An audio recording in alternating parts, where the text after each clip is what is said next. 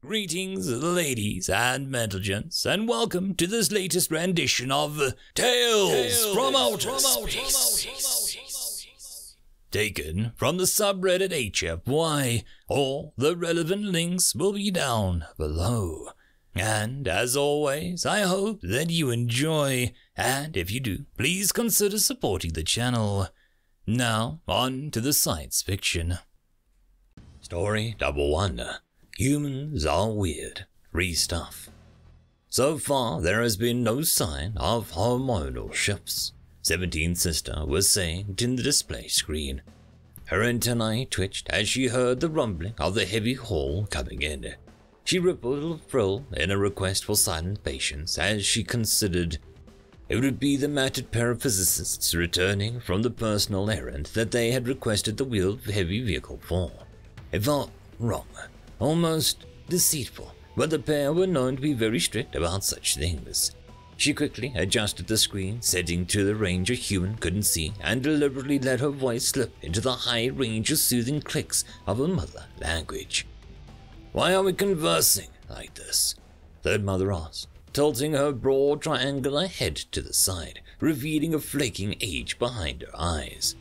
There are humans coming in from outside, Seventeenth Sister replied, and we do not wish them to know about your suspected hormonal condition, Third Mother said, her worn mandible clicking tightly in disappointment. Seventeenth sister braced her own mandibles to resist snapping at her first mother's third sister. The situation, like most involving human, was complex.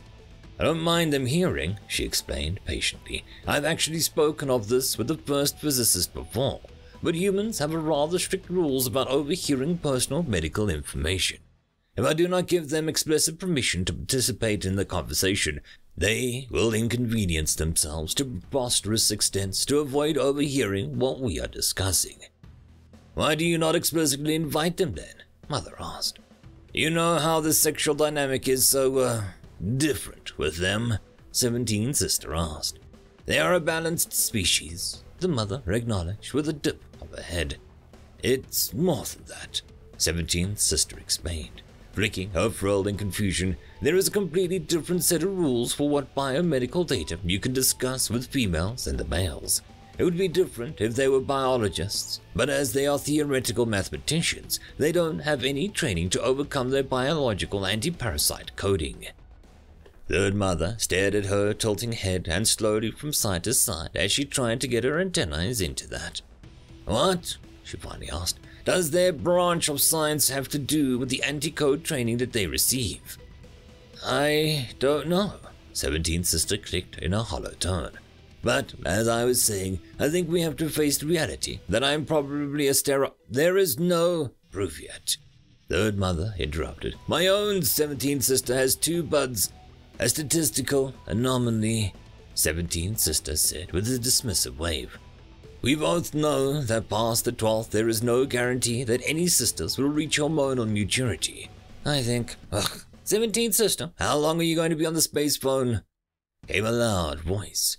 17th sister curled her antenna in annoyance and rippled her frill in apology to third mother. Third mother gave a chitter of amusement in reply. She had heard the stories of humans after all. I will be on some time, 17th sister replied tilting her head to direct one faceted eye towards the male half of the pair of physicists. We are discussing my reproductive capacity. She indicated for Third Mother to watch his reaction, and the human did not disappoint.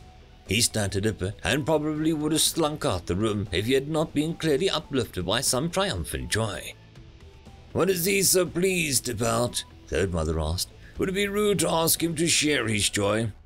Not in the least, Seventeenth Sister replied, before lowering the tone of her voice back into the human auditory range.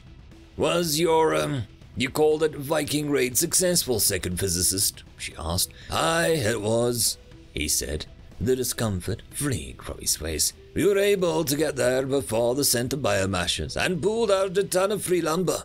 More than enough to finish the project for the little woman. What will you do with the excess? Seventeenth sister asked. Oh, uh, the human waved a hand dismissively. Build a wee shed and store it till we need it for something or the other. The female human burst into the room and flashed her bony mandible protuberances at Seventeenth Sister. Aye, and you'll be off the phone in a bit, she asked. Not for some time, Seventeenth Sister replied. Well, uh, we can wait, the male human said with a nod. It's not time sensitive after all, and we need to unload the wood. Who are you going to communicate with? Seventeenth Sister asked, seeing Third Munda's curiosity in the colors of her frill. My da, the human female replied. Just want to tell him about our hole out there. Did your ancestors proudly catch wind of the decommissioned private base? The male confirmed. Da will be pleased as punch. Let's get the free wood unloaded. The female instructed, and the two humans were about to leave. A moment, Seventh Sister interjected. Yeah. The humans turned to look at her in curiosity. You did not call your first father when your last theory was confirmed by the team of the gathering in the next system. Seventeenth Sister observed.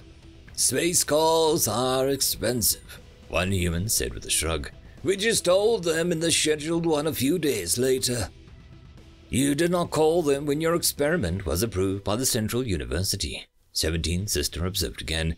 Expensive, the male repeated with a shrug. If I understand the situation, Seventeenth Sister said slowly, you valued the processed tree fibers because you were able to get them for free. Now you want to spend a significant amount to call your first fathers to boost your free will. Now you want to spend a significant amount to call your first father to boast about the free wood. That's the idea, the female human replied with a grin. You did your ancestors proud, the male said with a grin, reaching out and dropping an arm around the mate's shoulders. Don needs to know about this. Let us know when your spaceboat's free, 17. The two walked out still linking at the shoulders, and Third Mother clicked and hissed in approval at the adorable behavior of the pair.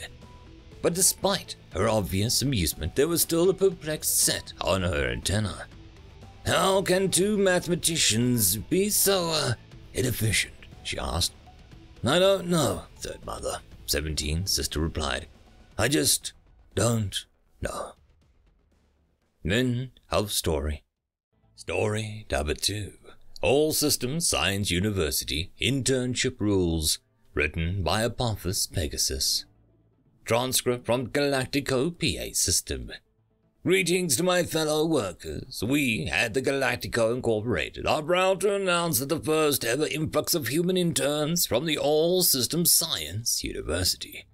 As you know, final year students from ASS-U, Karnak, I can hear you giggling all the way over in sales you do this every year. Come here to gain valuable work experience for five sub-cycles. Let us welcome them with open appendages and even more open nutrient transport fluid circulation mechanisms. To that end, the university has provided us with a list of rules, regulations, and suggestions that they believe will ensure their smooth integration into the company. They must be really keen to get them integrated, the headmaster literally begged me to read them, even apologized, though I told him it was no trouble. Let us begin. 1. We strongly suggest that no human work in the laboratories. Hmm, that seems to be a bit specious. And impossible. All the humans volunteered to do at least a cycle in the R&D department. Weird, especially for a science university. Anywho. 2. The human recreational drug imbibing apparatus, known as cigarettes, are not to be imbibed by any non-human member. Well, that seems ominous. But I suppose it's toxic or something. 3. The third cycle of the human's internship coincides with the festival known as uh, Halloween. During this time, we strongly recommend Galactico mortuary and body disposal services incinerate all of their dead. Well, that's a bit odd. I suppose it's a religious aversion to body sting, like the Sirt. Uh, next up, number four. Don't let them on the premises grounds with anything that looks like a hammer, especially during hurricane season. As if we'd still use manual hammers in this day and age. Number five. Human physiology combined with the numerous personal enhancements of the students makes them excellent security. However, be warned that they take a very uh, proactive view on the term uh, security. And I'm sure the boys and girls near the Exian space will be very pleased to hear that, though haven't heard a peep out of them recently. A caffeinated and motivated human is a productive human. Good to know. A bored human is a dangerous human. I suppose they can get a little cranky with repetitive tasks. Uh, we've all been there, right? Number eight. We don't mean cranky. Trust us. I guess we'll find out. Number nine. We suggest you don't work with Frisians. My, my, hope there isn't any bad blood between those two species. Maybe we can help foster some new bonds between those two species. Start some friendships. What do you say, guys? And finally, number 10. Many of the humans are going through what is known as GOT Season 8 rewatch. Beware of dragons. Well, that doesn't make much sense. Uh, GOT Season 8 rewatch. What is that? Some kind of recurring allergy? Don't know.